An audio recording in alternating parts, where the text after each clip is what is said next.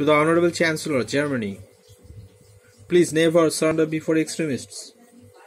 Madam, with full respect, I want to request you to form a strong group along with USA, Canada, France, UK, Germany, Australia, India, Japan, Russia to fight against those extremists throughout the world. They are against humanity. So,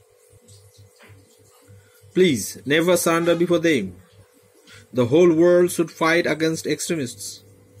The world will suffer more in your future if those extremist communities aren't finished from the world. The world will never be safe unless and until we finish those extremist groups. Please take serious steps against those groups who are against our world, our humanity. Thanking you.